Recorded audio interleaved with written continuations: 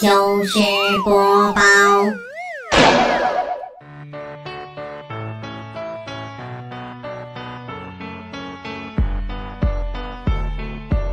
脂肪厚过天的主播彩彩，这是最近两天啊，风大的让我体会到了 会呼吸的痛。强台风拒绝呢登陆，我就在想，你到底是想登陆还是不想登陆？拒绝。这个天儿啊，如果不能给我外套，又不给我拥抱，那请给我钞票，我有卡号。如今呢，又到了。一堆老太太扎堆在讨论如何让闺女儿子穿上秋裤的季节了。我们小区啊，今天下去遛弯儿，就看到几个老太太就讨论啊，大家各抒己见。最后啊，李老太总结了一句，她说啊，他们说再不穿秋裤，咱们就分三步走：断网、炖肉加逼婚，招招毙命嘛。是哈，跟老太太斗还是太年轻了啊。就老人嘛，总是有办法的。想当年我上小学的时候，有一天着急上学，可是红领巾找不到了。我爷爷急中生智的就把他的红裤衩给剪了，然后我就带着去上学校。我我至今也忘不了同学那异样的眼光。你们见过红领巾上面写着福字儿的吗？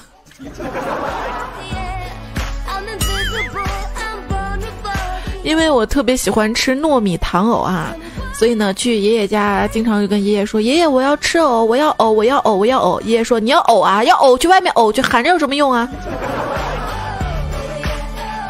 咱能不提这么恶心的话题吗？”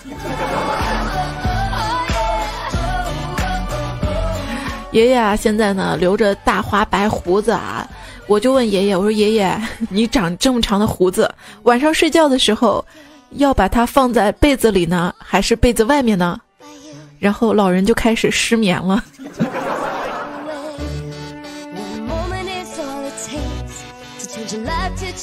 小区里的大爷啊，练太极拳的比较多。晨练的时候，呃，一大爷呢就跟大家讲解啊，说这个太极拳的厉害之处呢，在于它可以以柔克刚。我拎着一根钢管过去，手里掂量着说：“大爷，您再说一遍。”哼。于是大爷二话不说，柔软的身段绕着钢管就舞了起来。嘿。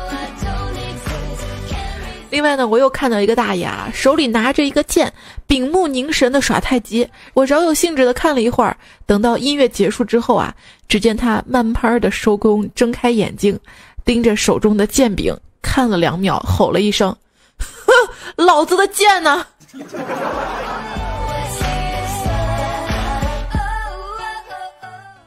胖虎呢也是啊，见到一大爷说：“大爷你在干嘛？”大爷说：“我在沉思。”胖虎说：“大爷您在思考什么呀？能不能跟我分享一下呀？”大爷说：“我在想啊，这么好的天气，你个傻叉孩子不去泡姑娘，跟我一老头逗什么闷子？”这是是啊，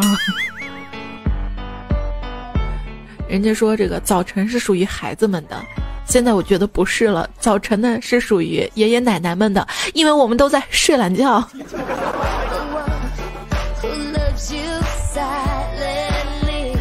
今天呢，我们来分享一下你身边的这些爷爷奶奶们啊，他们身上的糗事儿，来看大家怎么说的啊。路飞借下你的微笑呢，说堂哥一米八五大个，长得有些壮，谈了一个女朋友吧，一米五微胖，前两天领回家，早上呢领着女朋友。呃，又要回去上班了，两个人手牵手啊，走向了小区大门。起得早，早上有点雾，奶奶的眼睛又花。只见奶奶在三楼冲下喊道：“冰冰啊，你大清早的拉个皮箱要去哪儿啊？”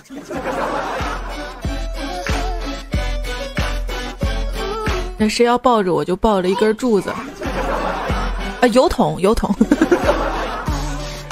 金克斯尼玛说，去爬长城的时候呢，一对小情侣啊趴在地上刻字，旁边祖孙俩，孩子大概三四岁，就问奶奶：“奶奶，他们为什么要刻字啊？”奶奶瞅了一眼，长叹一声说：“哎，这些都是那些罪孽深重的人刻在这儿，经过万人的践踏，这是在赎罪啊。”孙子略有所懂，同情的看了情侣一眼，情侣顿时石化，愣在那儿，继续刻也不是，不刻也不是啊。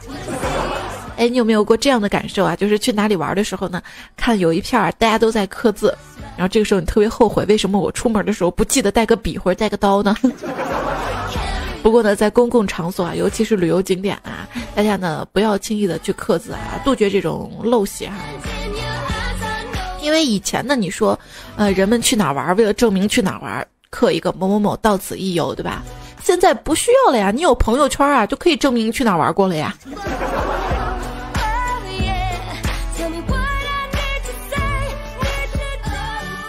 今朝呢说，我爷爷听新闻的时候，听到了“头条”两个字的时候，就问我，光知道粉条、面条还有口条，这头条是啥吃的呀？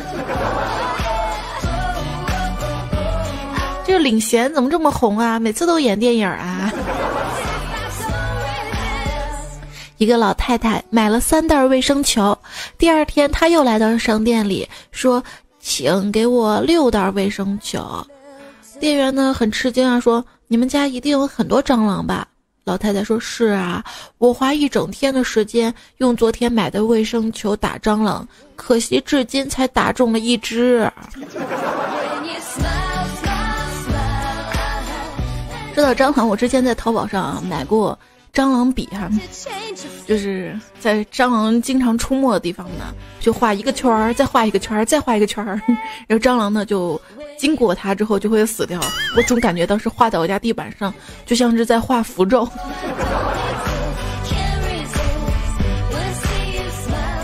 F E I L X 说，有一次一个大爷在公交上看到这个手机登 QQ 哈，登了好多次呢，他都没有登成功，我就忍不住说：“大爷，您的 QQ 是刚申请的吗？”他说：“没有，是我自己想的。”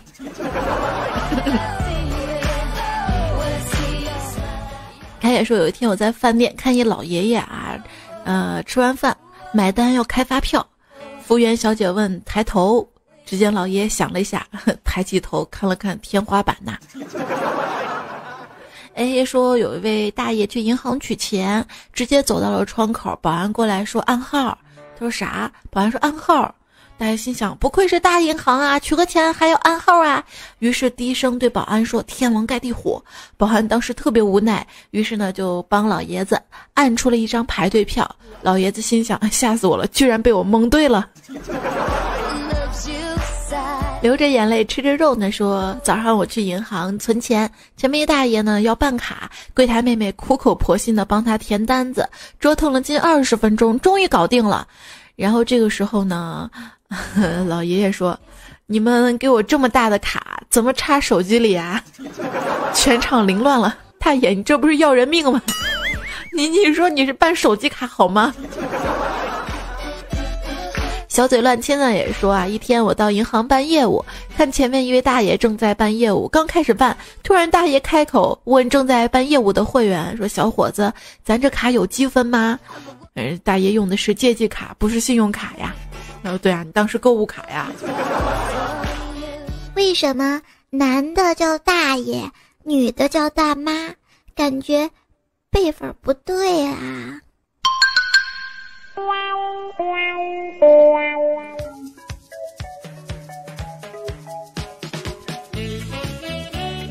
我们家里呢是四代同堂，我们节目组呢是七个人同堂。这里呢是糗事播报，我是彩彩哈。明天呢就是重阳节了，重阳节呢也是老人节哈。这一天，那我们就来分享爷爷奶奶还有老人、老伙计、老老伴儿。啊，之间发生的一些糗事儿哈。继续播报到的是莫林风暴走说，在饭桌上呢，奶奶啊追忆往昔，说到这个洪水灾害的问题，对我爸说：“你哥出生那年发了好大的水，你还记得吧？”我爸呢点了点头，肯定的说：“嗯，记得。”嘿，你哥出生那年，究竟是谁脑子记不住了呀？啊？年龄越大越容易忘事儿哈！我经过一个敬老院，那里有个老爷爷呢，就坐在门口，总是喊着“老太婆，老太婆，快回来呀，我做饭给你吃”，不知疲倦，就这么重复着啊。后来才知道他得了老年痴呆症，可是即便是他痴呆了，还是没有忘记那个人，这真的是一个真爱呀！同样真爱的还有一个老头子啊，天天的喊他的这个老婆、老奶奶喊宝贝儿、宝贝儿哈。于是呢，记者呢就去采访他，说：“大爷，您都八十岁了，怎么还老是喊老伴儿、宝贝儿啊？请问您是怎么做的呀？”大爷说：“哎呦，别提了，前几年就忘了他叫啥名了，也不敢问，怕他弄死我呀。”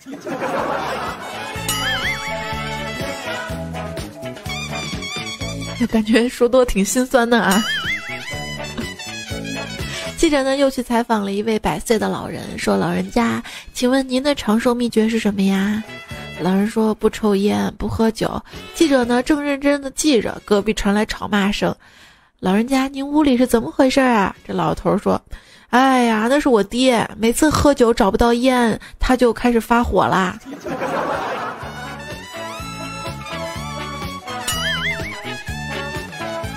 这位听友，他的昵称是一个笑脸哈。他说我在敬老院实习，新来一个九十二岁高龄的老奶奶，天天在屋里看电视不出来。我们就问他怎么了，要出来活动玩游戏呀？天天待在屋子里，心情会不好的。结果老奶奶回答说：“嘿，我这，我这年轻才四十岁，才不跟那些七十八十岁的老头老太太玩呢，跟他们玩我会变老的。”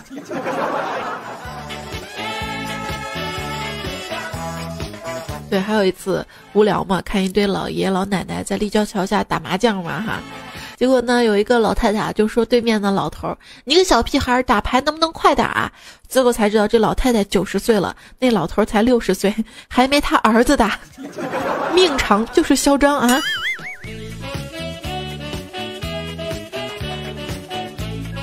一小伙子呢，跟一个老爷爷说啊：“先生。”我真希望明年还能祝贺您九十九岁生日。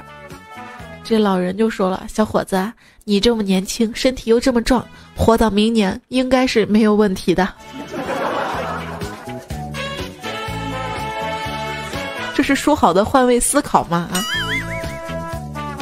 据说还有个张老汉啊，住进了医院，儿女们都不来照顾，病友们就为他愤愤不平。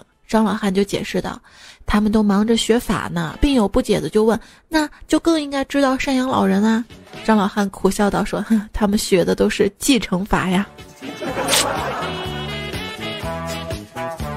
好酸的段子哈！我希望大家都可以孝敬自己身边的老人哈，尊老爱老啊！呃，其实呃，很多朋友说不知道从哪里做起来，其实我觉得教爸爸或爷爷奶奶玩手机就可以，是不是？他说我我姥爷啊。被我教会玩手机，现在呢，他在他们那个老年大学里面啊，现在都已经成那个就是手机老师了，一一弄就教上一帮子老人玩手机，玩特别有。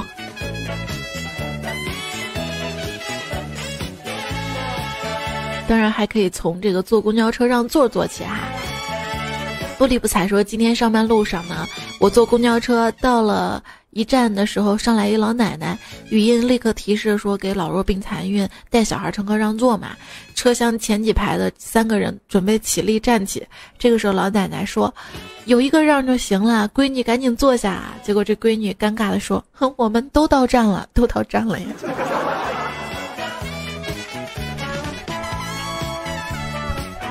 有一次我坐公交车嘛，看到一老奶奶站我旁边嘛，我就拉拉老奶奶衣袖，小声的说：“您坐。”可能这个老奶奶她没听清楚嘛，就跟我说了一句：“多好的闺女啊，可惜是个哑巴。”哎哎哎！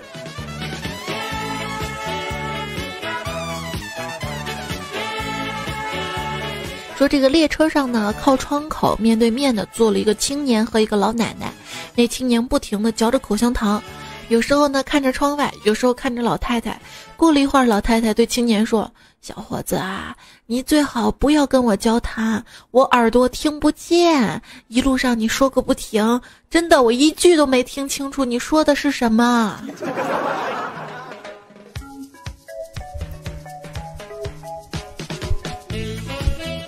张天辉呢说：“我在公交车上啊，旁边上来一个阿姨。”我在一旁听段子来了，也不知道是谁的手机响了。这个时候，阿姨打开包就开始找，竟然拿出一个遥控器，我都惊呆了。这个阿姨按了几下，又自言自语的，也不知道遥控器修的好不，顺势又放到了包里啊。悠悠呢说，下班挤公交车，上车就被挤到一个老弱病残孕的专座旁边，一个大妈坐着，突然一京剧铃声，大妈随即翻包掏出 iPhone 四，滑条接听，正奇怪大妈解锁键怎么在上面，大妈喊开了，什么听不见？这个时候旁边妹妹看到大妈手机是拿到了，好心开口，大妈到了，大妈急忙对电话吼道，哦到了到了，我下车再说啊。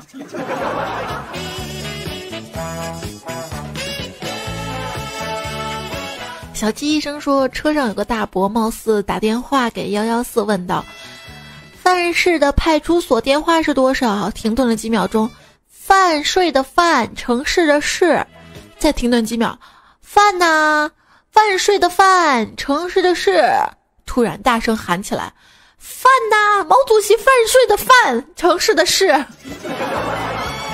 然后我懂了，万岁的万呐啊！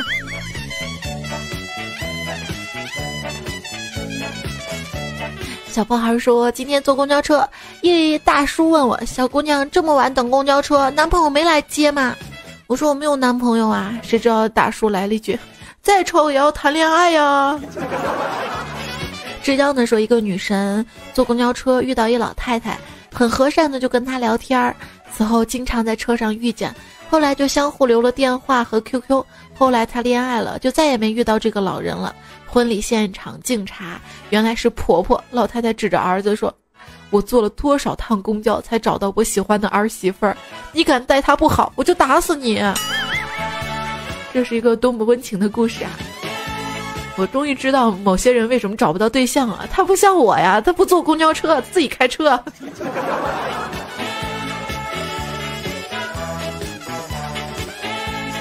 当然了，还有老人骑自行车哈。子不语说，一天过马路，看到一个老大爷骑着自行车，车窗框里啊，自行车没有车窗，车筐里呢放着一只狗。我就问大爷，放条狗干嘛？大爷说，当喇叭呀。孤狼宵夜说，我今天下班回去的路上，看到一个老太太在推车上坡。我上去帮忙，刚准备伸手，老太太直接来了一句：“小伙子，我就这么一辆车了，别再抢。”我直接无语了，这是被抢了几次呢？鄙视那些人呐！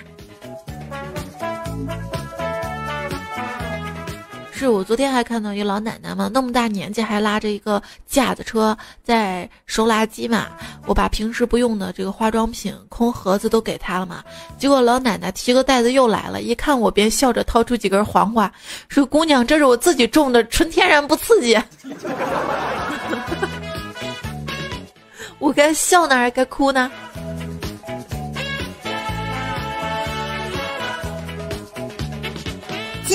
用了我的瓜，让你忘记那个他。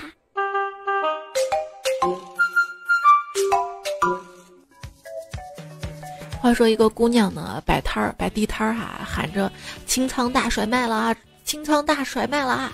这个时候过来一个很朴素老头呢，就对这个姑娘就说了：“你是处女吗？”那姑娘奇怪了，说：“关你什么事儿啊？”老头说：“不是处女，我不要。”这姑娘说：“你有病啊啊！”这个时候老头老伴儿来了，对老头说：“买吧，是处理的。”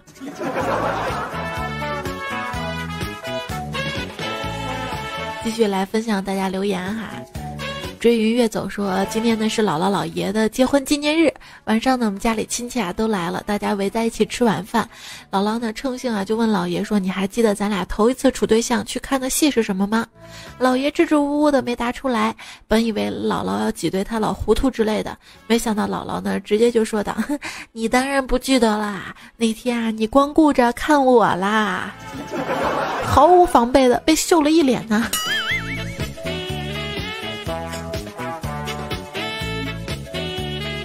听友老石头子儿留言说：“我问爷爷当年是怎么跟奶奶认识的，我爷爷低头沉思了一会儿，说一个瞎子介绍的。”小怪兽说：“早上呢，在楼下看到一对老夫妻，老太太推着老头儿，是那种电动轮椅，然后走着走着，两个人不知道怎么闹矛盾了，老头开着轮椅自己跑了，剩下老太太就在后面。”追追追！两条腿儿毕竟追不上两个轮子啊啊！现在科技真发达，我那天还看婴儿车都有电动的了啊！还有路飞说呢，我妈有一次做的炒饭不好吃，我就拿纸包着给扔了垃圾桶了。我妈大发雷霆，问谁干的，结果我姥爷承认了。我心想，果然姥爷很宠我啊。后来去倒垃圾的时候，发现垃圾桶里还有一份没用纸包起来的炒饭，原来是姥爷扔的呀。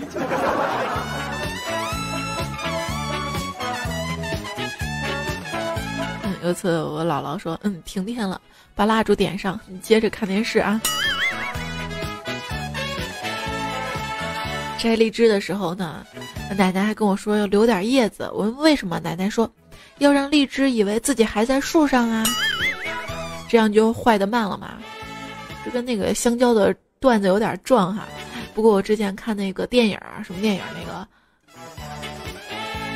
《王的女人》，范冰冰演的那个，当时不是那个杨贵妃嘛，吃荔枝就运来了一束哈。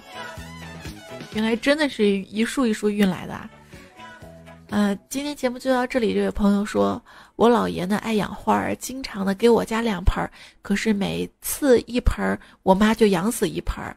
结果啊，我姥爷呢就摸着我的头，一阵怜惜说：“孩子啊，跟姥爷回去吧，照你妈这速度，下一个养死的就是你呀！”啊，亲姥爷。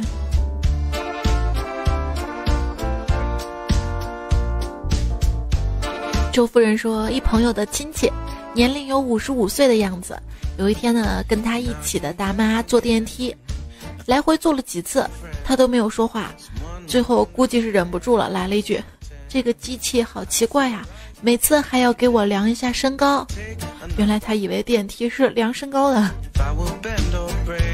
那我还经常觉得电梯是像穿越的呢。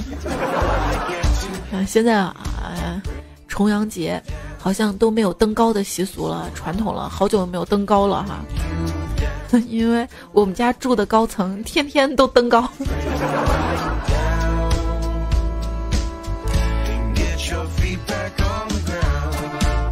尼诺言说：“听到扫厕所大爷那个段子啊，我就想起了上学的时候，男生说大妈一扫男厕所，他们就得避开大妈去二楼。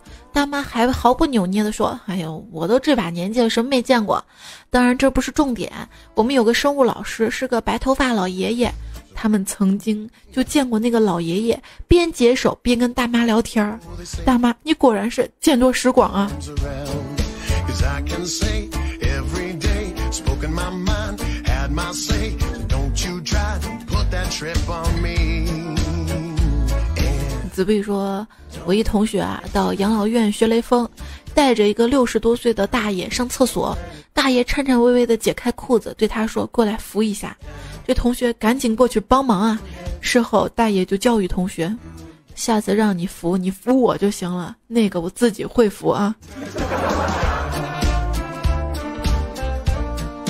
蓝天印象的时候，一天啊，我跟一大爷聊天，聊着聊着，大爷跟我说：“你说这人呐啊，得了病也不死。”我说：“大爷，您什么病啊？”大爷说：“哎呀，我得了高血压呀。”我无语，参彩一定要念我的呀，我等着呀。那我还得了中二病呢。季夫人说，我们村上死了一位老奶奶，九十高龄了。我那小侄子就问他爷爷：“爷爷爷爷，那个奶奶为什么会死呀？”他爷爷啥也没说，就回答他：“因为奶奶老了，所以就死了。”结果小侄子顺口就问：“那爷爷你也老了，怎么还没死呀？”这爷爷差点被气过去。听友宋小天就说了啊。爷爷呢？不久前就去世了。爷爷生前最喜欢唱的歌，嗯，最喜欢的歌呢，就是《其实不想走，其实我想留》。待送走爷爷之后呢，家人为了表达对爷爷的爱，一直放着爷爷唱的这首《其实不想走，其实我想留》。结果突然一股凉风吹过，哪儿不对啊？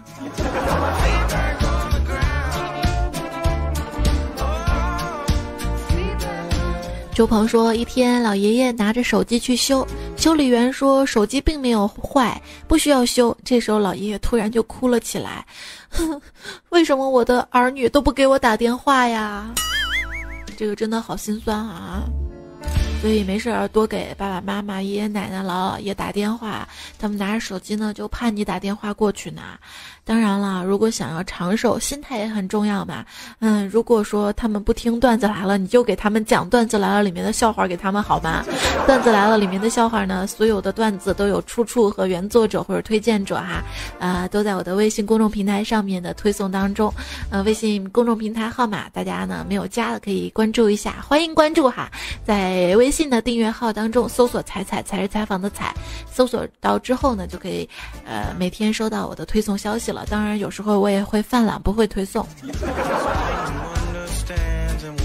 心态呢？啊，看到这个子不语说，这个老爷爷呢今年一百零二岁了，身子骨呢仍然硬朗。一天晚饭之后呢，他边散步边回忆着自己的一生。突然，他脑袋砰的一下撞在一棵大树上，老爷爷非常的生气啊，正要抬脚踢树的时候，看到树上挂着一个牌子。古树名木，国槐一零一年。这老爷爷看到这个牌子之后笑了笑，说：“ 看在我比你大一岁的份上，不和你计较啦。”所以说，长寿的秘诀呢，就是，呃，凡事少计较啊。呃，最近呢看到一个新闻啊，我谁对谁错我就不说了，大家心里都有一杆秤，相信你也看了。说公交车上呢，一个大妈哈，啊，因为坐过站了嘛。他呢就堵在这个门口，不让别人下车，堵着车。然后一个男乘客呢，因为着急赶火车，一脚呢就把这个老太太踢下车了。因为这个男乘客还被判了这个刑拘哈。这个老太太她有她的不对，但是你这个踢人你也有你的不对哈。不管怎么样。我觉得大家呢，在这个社会上周边哈，呃，都要多包容、多体谅，要讲理、讲理字儿啊。有时候你会看到很多新闻啊，可怜之人呢，他是必有可恨之处的。不过不管怎么样，我还是相信啊，我们身边的这个还是好人多哈，老人当中也是好人多的。呃，至少你看我身边的这个爷爷奶奶、老姥爷，还有家里的其他的这个姨婆呀、姨奶呀，呃，都很善良的哈。相信你的家人也很好哈。人人都会变老的，呃，你如何对待老人，就是如何对待明天的自己。好啦，今天的糗事播报感觉跟上课一样。最后来看到的是离光旧时成说彩彩很久没有回去看爷爷奶奶了，昨天回去了，听爷爷说他重阳节以前的单位组织过节呀，奶奶不在家呀，他呢要去看美女。哎，我一听呵有美女啊，结果一去陪爷爷一去，一群老太太呀。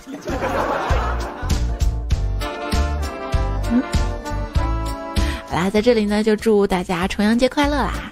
那今天糗事播报周二就到这里了，非常的感谢你的收听哈。还有很多像上期的这个糗事播报的这个互动留言，我之后留在段子来了的这个互动版里面，慢慢和大家分享啊，不然又超长了哈，希望大家可以谅解。好啦，就是这样，感谢收听，再会啦，晚安。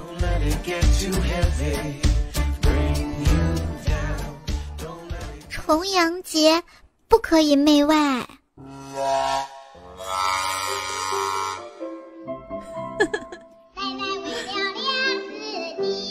每次听到这首歌就特别开心啊！还记得小时候啊，嗯，我姥姥家呢，农村啊，呃，别人家的鸡呢就放在姥姥家的院子里面养了这么两天，那只母鸡下了一只蛋哈。当时呢，我我姨她把那只鸡蛋呢就准备拿走，特别开心哈，占了一便宜。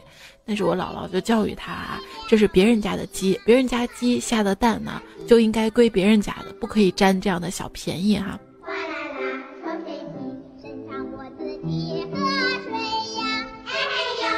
所以段子呢，是你写的，你提供的，那我就要感谢一下。这怎么绕？要特别感谢这期原创和提供糗事的朋友哈，除了节目当中读到的，还有没有读到的朋友？呃，俗世奇才没事爱发呆，王静雷，抚碎小 cross 梦，直角万零落，压坏小子，依然晴天，门外汉，木子李，立可白，金哥刺尼玛，今朝请叫我四条眉毛，赵岩，王小海，我家的一言，谢谢你们，也谢谢所有好朋友们的收听支持，转采点赞哈，好啦，就这样啦，晚安啦。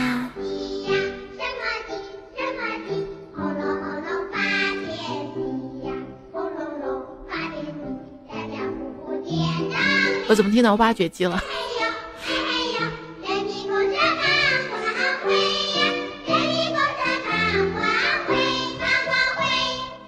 国考最热的职位居然是人社部，不过这也可以理解，起码退休时自己的养老保险最有保障。